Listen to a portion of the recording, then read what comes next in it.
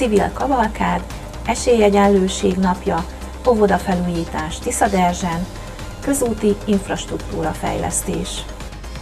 Jó estét kívánok! Önök a Nagykunsági Híradót, a Karcak Televízió napi hírműsorát látják 2021. október 1-én 18 óra 5 perckor.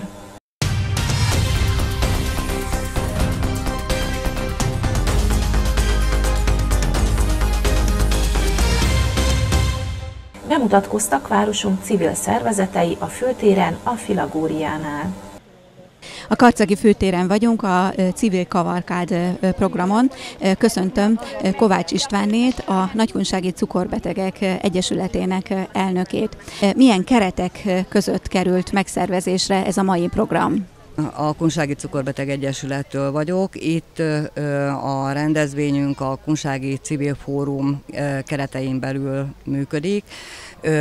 A Széchenyi pályázattól nyertük ezt a lehetőséget, és ezen belül ez egy jótékonysági rendezvény. Picit kinőtte most már magát. A civil fórumon belül hét egyesület van, a Vöröskereszt, a Máltai Szeretett Szolgálat, az Eszkrima Egyesület. Az Eszkrima Egyesületnek Disznós Imre a vezetője, és a Kunsági Civil Fórumnak is ő a vezetője, én a titkára vagyok.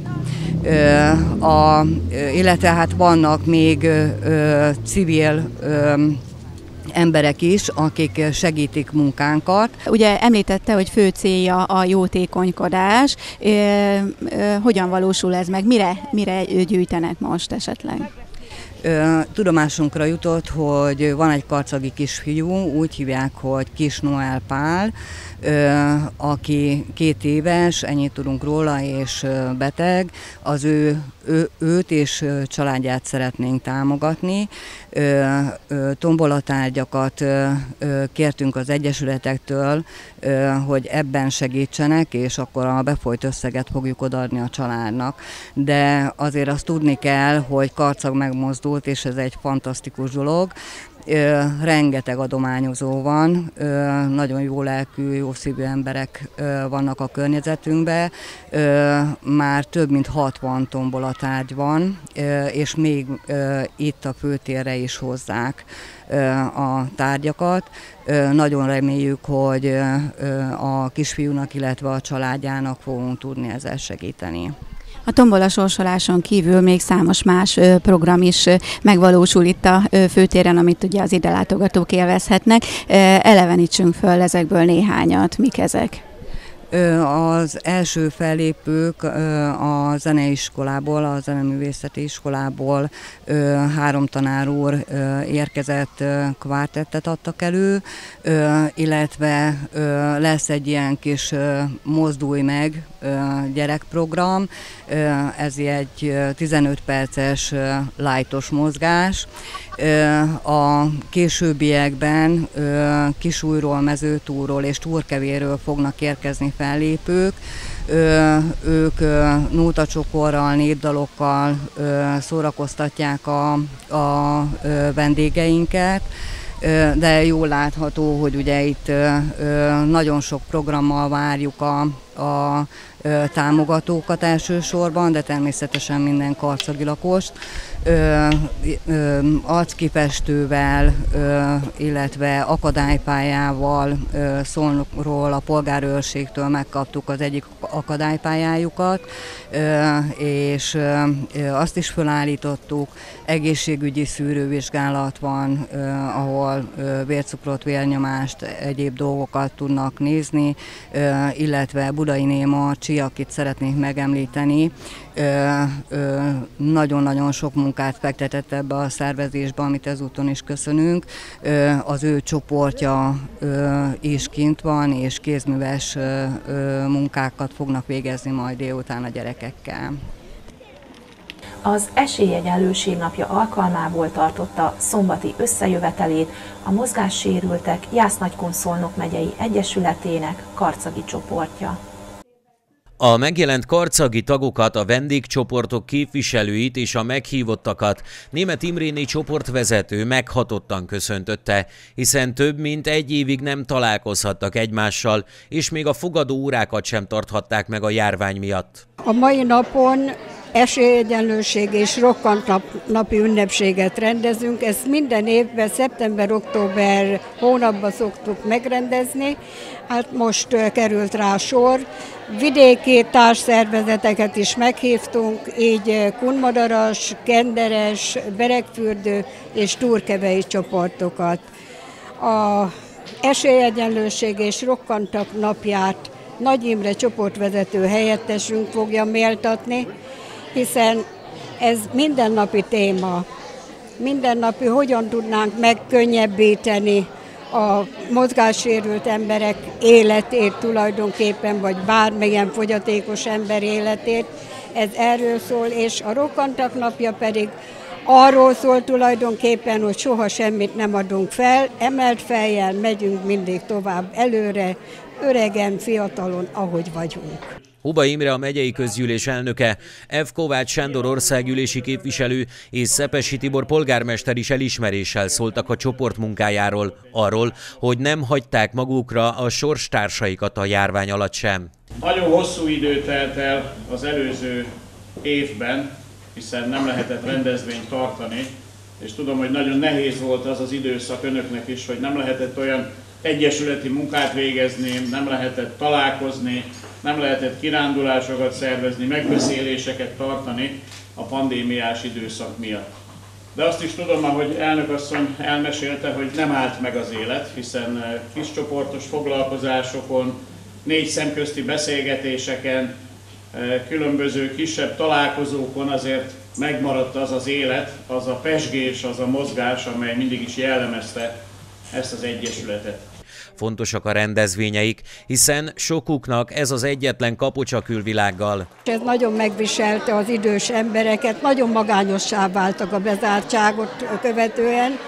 Május 13-ával, amikor úgymond megengedték, megengedte a járványhelyzet, azonnal megnyitottuk az ügyeletet, amit minden csütörtökön megrendezünk. Már egy kirándulást is bemertünk vállalni, augusztusban Gyulán voltunk, és volt egy rendezvényünk, már csoportrendezvény, ami rendesen a havi rendezvényünk minden pénteken, utolsó pénteken a Rákóczi út 3-ba a Sorstársak házába. Tehát ahogy tudjuk, összefogjuk a csapatot, mert őszintén én attól féltem, ha elmondhatom, hogy ez a járványügyi helyzet ez szétszórja ezeket a csoportokat, egyesületeket, de nem, mert szinte szaladva, hogy mikor lesz már, mikor csinálunk valamit, tehát igény van rá, a közösséget igénylik az emberek, és ez nagy boldogság is egy részről. Nagy Imre csoportvezető helyettes az esélyegyenlőségről tartott kis összefoglalót, majd kultúrműsor és a végén közös nótázás, tánc zárta a találkozót. Kultúrműsorunk is lesz, Sajnos a napsugár énekkar nem tudott jelen lenni megbetegedés véget, de énekelni fog Ferenci Béla és Barta András zenekísérettel. A egész napot pedig, mint zenész, Farkas Juditka fogja kísérni, aki úgy gondolom nagyon jó hangulatot fog teremteni, és minden kicsit bicebóca embernek ilyenkor kiegyenesedik a lába, és táncra perdül. Csodálatosan felújították a Tiszaderzsi napsugár óvodát. F. Kovács Sándort vezettette körbe Pásztrai Népap Eszter óvodavezető és Fótósné Ceglédi Zsuzsanna polgármesterasszony. Több sikeres pályázatnak köszönhetően közel 50 millió forint hazai forrás felhasználásával újulhatott meg az intézmény. Megvalósult az épület külső-belső felújítása, új játékelemekkel gyarapodott az udvar, és egy modern konyhát is kialakítottak, továbbá megtörtént az ingatlan fűtésrendszerének korszerűsítése. Gyermekeink mindenhol a legjobb körülményeket érdemlik a bölcsődétől a középiskoláig. Térségünk és városunk országgyűlési képviselője gratulált a korszerűsítéshez, mint mondja, szolgálja hosszú ideig a települést és az intézményben zajló kiemelkedő színvonalú munkát. Hírstúdiunkban Hubai Imrét kérdezzük a térségi közúti fejlesztésekről. A közúti infrastruktúra fejlesztése, beleértve az M4-es autóút folyamatban lévő tervezését, meghatározó jelentőséggel bír megyénk és térségünk gazdaság fejlesztésére. Milyen előrelépések történtek az M4-es karcagi elkerülőjének egyeztetése kapcsán? Milyen térségi közúti fejlesztéseket terveznek megyei forrásból? Kérdeztük Huba Imrét, a Jásznagykun Szolnok megyei közgyűlés elnökét. A karcagot elkerülő szakasz esetében lezajlott az elmúlt évben egy társadalmi vita. Itt a karcagi gazdálkodók és karcagi földtulajdonosok érdekeit emelném ki, akik a természetvédelem, a természetvédelmi értékek megóvása érdekében egy külön utat kerestek annak érdekében, hogy az eredetileg engedélyezni tervezett, aztán majd később engedélyezett karcagot elkerülő nyomvonal az egy másik, észszerűbb, racionálisabb területen a jelenlegi négyes számú főút nyomvonalához jelentősen közelebb húzódjon, és így ne kerüljenek ki a termelésből értékes természetvédelmi területek, ne kerüljenek ki értékes olyan mezőgazdasági területek, aminek a, az elvesztésével 100, akár 120 család is elveszítette volna a megélhetését itt a településen. Az is nagyon fontos, hogy az M4-es nyomvonalának racionalizálásakor figyelembe vettük azt is, hogy milyenek a területi adottságok, milyenek a természetvédelmi értékek, mi az a az a szerep, az a funkció, amit be kell tölteni egy M4 elkerülnek a helyiekre, a helyiek közlekedésére és a térség fejlődése érdekében milyen szempontokat kell szem előtt tartani. És ebben a, a, a tekintetben a be, Karcag belvárosának biztonságosabb közlekedése érdekében és a gazdaság további élénkülése és az átmenő forgalom könnyítése érdekében kezdeményezte a város, hogy épüljön meg azon a 42 évvel ezelőtti koncepció, aminek már vannak közel 30 évre visszavezethető önkormányzati alapja is. Még dr. Fazekas Sándor polgármesterként rendelte meg azt a környezetvédelmi hatásvizsgálatot, ami kimutatta, hogy a, a várost el kell kerülnie ennek a jelentős átmenő forgalomnak, és a Kumadarasi út, valamint a négyes számú főút, és így már az épülő M4-es összeköttetésére egy keleti elkerülő szakasz is megépül. Ez azért is fontos, mert a levegő védelme és a biztonságos közlekedés és a zajterhelés csökkentése a belvárosban különösen nagy értékre, különösen felértékelődött azáltal, hogy jelentős az oktatási köznevelési intézmények aránya a belvárosban, és az oda reggelente megérkező gépkocsival hozott gyermekek, azok, azok nyilván igénylik azt, hogy biztonságban szállhassanak ki az autóból, biztonságos legyen a közlekedés, ne tartsuk fel a forgalmat, és ennek is tulajdonítható az a, az a külön kiemelt figyelem, ami az elkerülőre irányul. Az M4-es megépítése nem csak gazdaságélénkítési, és nem csak, nem csak a, a munkahelyekre való eljutás, vagy a munkahelyekről való megérkezést teszi biztonságosabbá, hanem a térséget egy olyan szintre emeli, ami a befektetéseket is ösztönözheti. Tehát nem csak a helyi gazdaság érénkülésével számolunk, hanem olyan új befektetések megérkezésével is, amik igénylik a, a kétszer kétsávos autópálya vagy autót elérést, igénylik azt, hogy az ország reptereihez és az ország jelentősebb infrastruktúrájához könnyebben tudjanak csatlakozni a településről. Nálunk van jól képzett szakembergárda, akire lehet építeni, és vannak fiatalok, akikre a jövőt lehet tervezni. És hát azt hiszem többször beszéltünk már arról, hogy a nagykonság és a Tiszató is hogyan kapcsolódik egymáshoz, hiszen a fejlesztések egymást fogják generálni majd itt is. Így van, Karcag a Tiszató térségébe tartozik, és ebben a tekintetben a Tisztató térségében egy, egy jelentős gazdasági bázist is képvisel. A megye keleti részén közvetlen Hajdú-Bihar megyével határos területen nekünk azzal is számolnunk kell, nem csak a turizmus érénkülésére, hanem a, a BMW gyár betelepülésével, a műszaki és, és gépészeti és informatikai vállalkozások megerősödését is magával fogja hozni a következő 5-10 esztendő és a Tiszató térségébe ezen a kétszer kétnyomú autóút megközelítési lehetőséggel olyan, olyan befektetők is megérkezhetnek, akiknek így a Tiszató sokkal közelebbre, sokkal kézzelfoghatóbb távolságra kerül.